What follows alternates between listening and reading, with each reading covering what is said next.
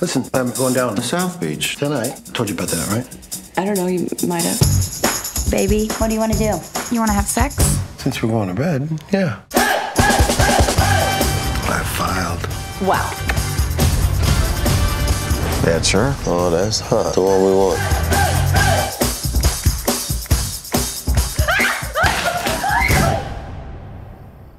Oh, this is unbelievable. Yeah, I know. It's a little strange.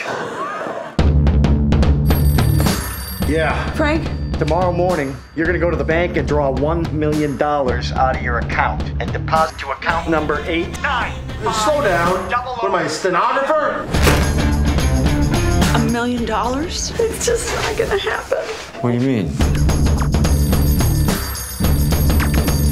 Should I get it? Do you want me to get it? Maybe you should get it. I'll get it. I'm getting it. I'm afraid Mr. Dawson isn't here right now. This Melanie with the big. The woman want to hang up the phone on us. They think it's a game. I'll call him. We need to make an impression. Melanie, is he upstairs? Or did he leave the island? I'm willing to cooperate because I like you. And I don't want to end up in the ocean again. He filed for divorce. You tell him he's never going to see his wife again. He doesn't want to see his wife again. You just saved him a hundred grand a year in alimony. Are you gonna kill me? Is there a problem? Ain't him that hard. You hope you didn't.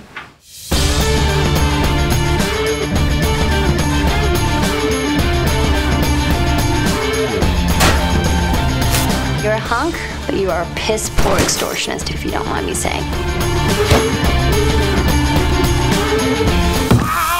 He's so dumb. It's adorable. Hey, you keep your wife out here, someone's liable to steal her. You promise?